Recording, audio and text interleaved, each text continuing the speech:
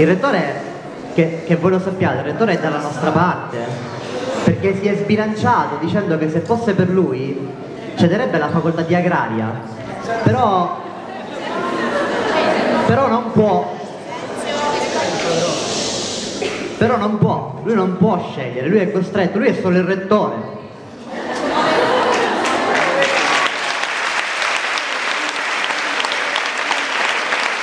Si è anche affezionato al libro, si è affezionato a tutti noi e gli piacerebbe tanto perderci, però come, avete, come avrete capito come rettore non conta nulla e quindi non dipende da lui. Come studenti dell'Ateneo Statale, indipendentemente dall'appartenenza delle facoltà, ma come elemento cardine questa decisione di spostare lingua a Ragusa, lanciamo una campagna forte per le dimissioni del rettore Antonino Alfano.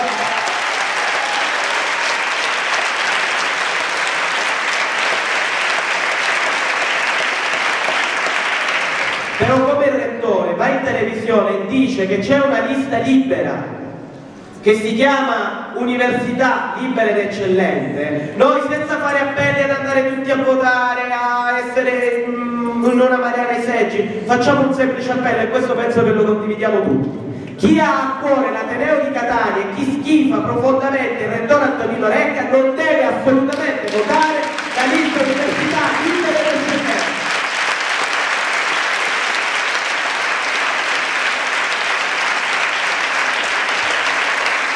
Volevo portare la mia testimonianza quello di cui già ha parlato Matteo sulla questione della lista del rettore. Appunto, come diceva, ci sono, ehm, girano queste voci su questi studenti candidati e io porto la testimonianza di un, un mio caro amico col quale stiamo tentando di fare una documentazione video in cui lui ci spiegherà cosa gli è successo e come gli è stato mh, proposto di candidarsi. Ora, quello che noi sappiamo, che vi dico pubblicamente, mi assumo responsabilità di quello che sto dicendo, è che lui è stato contattato direttamente da un professore il quale gli ha detto eh, di, di pensare a candidarsi e probabilmente in cambio del, del suo tempo avrebbe avuto avrebbe avuto qualche agevolazione, qualche, qualche favore in, in sedi di vario tipo. Noi ovviamente queste parole le testimonieremo appunto con l'aiuto di questi ragazzi che hanno, eh, dato il, stanno dando il loro contributo per eh, rendere pubblica questa che è una secondo me delle cose più vergognose che si, che si stiano svolgendo durante queste elezioni. Se noi abbiamo stiamo subendo un attacco sotto tutti i punti di vista, dal, dal punto di vista insomma, economico, con l'aumento delle tasse, diminuzione del corso di studio, la chiusura delle mense, eccetera, e noi abbiamo un unico strumento ufficiale eh, che non è quello appunto assembleare che si sta dimostrando comunque molto forte per eh, contrastare la forza di rettori, professori e baroni e così via, cioè quello dei rappresentanti degli studenti. Noi sappiamo che ad esempio nella mia facoltà di scienze hanno ridotto il numero dei rappresentanti da 9 a 7 per rendere ancora più eh, inutile praticamente la nostra presenza nel consiglio e se questo non bastasse loro stanno anche eh, infilando i loro insomma stanno mettendo le mani anche sui nostri rappresentanti studenti per controllarci in tutti i modi possibili e immaginabili quindi nuovamente io eh, rilancio l'appello che ha fatto Matteo di fare che si vuole, votare, non votare, ma non votare questa lista che si chiama Università Libera ed Eccellente, che è veramente un'aberrazione, una cosa vergognosa che deve essere denunciata in tutto l'Ateneo. La mia proposta all'Assemblea per chiudere è che a partire da adesso venga indetta un'occupazione dei benedettini a tempo indeterminato ritengo che un'occupazione significhi alcune cose. Primo, momenti assembleari ovviamente come questo e su questo non si, non si discute. Secondo, un presidio permanente che però non può essere confuso con l'occupazione in genere perché altrimenti succede una cosa molto semplice. Molti studenti, a cominciare da metà di voi, vanno a casa. Ora io credo credo che l'obiettivo di un'occupazione di queste sia quello di mantenere alta la mobilitazione, non di stabilire, diciamo, io qua ci sto e ci metto il mio, eh, il mio cappello, no, bisogna mobilitare la, massa, la maggior parte, la più grande massa di studenti.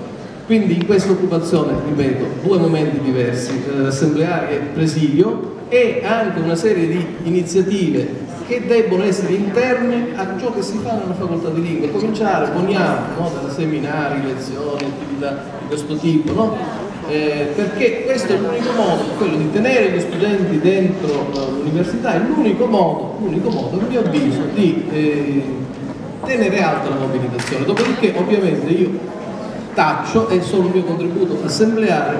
Pongo un problema, non fate strumentalizzare a chi lo vuole questa vostra protesta, perché siete alla fine dell'anno accademico.